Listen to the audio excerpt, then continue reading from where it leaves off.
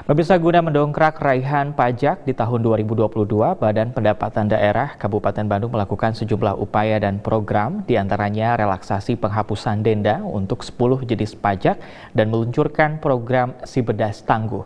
Sementara itu pada tahun 2022 ini, Pemkab Bandung berhasil mendongkrak pendapatan asli daerah.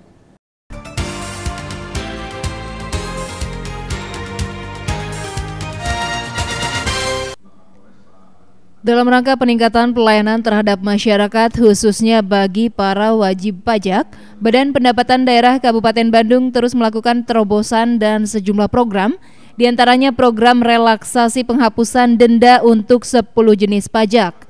Program relaksasi denda pajak ini pun mendapat respon cukup baik dari wajib pajak, terlihat dari meningkatnya jumlah dari wajib pajak yang membayar tunggakan pajak mereka, baik datang langsung ke kantor Bapenda maupun melakukan pembayaran dengan transaksi online.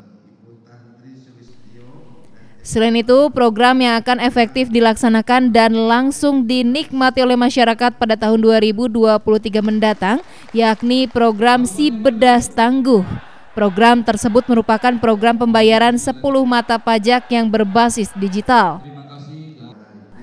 Bupati Bandung Dadang Supriyatna menuturkan dengan adanya program Si Bedas Tangguh ini dapat memudahkan masyarakat wajib pajak dalam membayarkan pajak mereka tanpa harus mendatangi kantor Bapenda, hanya cukup mengisi form dalam aplikasi tersebut. Untuk bisa menertibkan uh, apa namanya wajib pajak dalam transaksi jual beli dan berakibat terhadap harus membayar PPh dan juga PPHTB karena Kabupaten Bandung ada hak untuk menampung PPHTB maka untuk mensinkronisasi terhadap angka-angka dari pemohon dan juga wajib pajak uh, di sini diperlakukan aplikasi. Maka aplikasi SIM10 Tangguh ini adalah salah satu aplikasi dan solusi supaya tidak terjadi miskomunikasi antara kantor ATR dengan pembenda dan juga pemohon dan juga PPHT.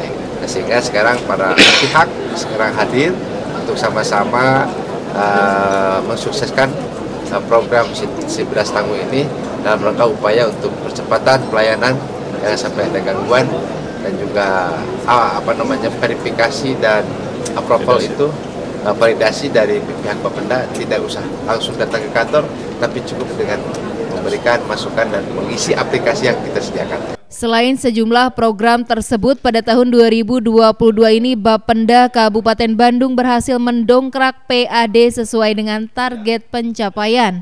Rencananya tahun 2023 mendatang, Bapenda Kabupaten Bandung akan melanjutkan program tersebut dengan harapan PAD Kabupaten Bandung terus meningkat di masa kepemimpinan Bupati Dadang Supriyatna. Ya, sebetulnya dengan program Siberas Tangguh ini, collecting pendapatan khususnya yang dari uh, pajak BPHTB ini akan masuk cepat masuk cepat, efektif, efisien dari sisi pewaktuan, dari sisi collecting angka pendapatannya pun tercover, terekam secara online dengan e, bank persepsi atau kas daerah yaitu di BJB.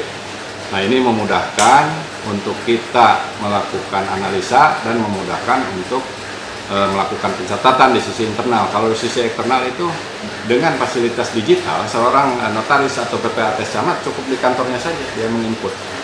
Tidak perlu datang jauh-jauh ke Eh, Bapenda untuk melakukan proses pendaftaran ataupun proses kelengkapan persyaratan karena di menu-menu di menu aplikasi itu sudah ada sudah ada untuk proses pendaftaran, registrasi, validasi dan lainnya. Rezitia Prasaja, Bandung TV.